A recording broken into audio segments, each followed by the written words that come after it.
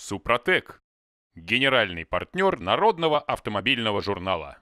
В советские времена самый мощный отечественный мотоцикл «Урал» запрещалось эксплуатировать без коляски, но из любого правила бывают исключения. Знакомьтесь, М68П «Одиночка».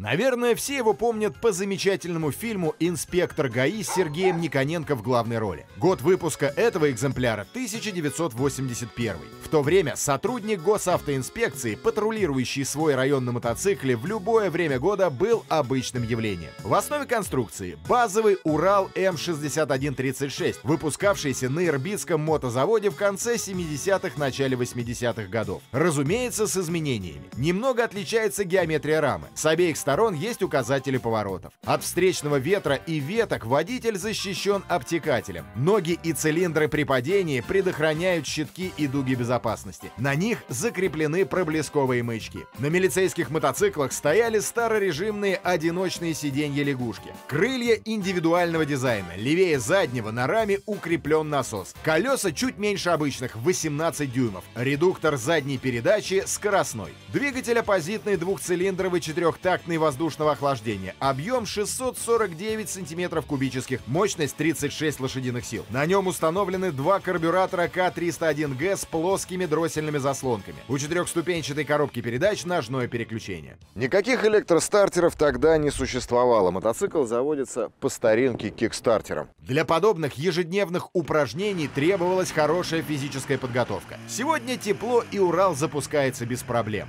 Справа на двигателе расположена механическая электрическая сирена, приводимая во вращение от маховика.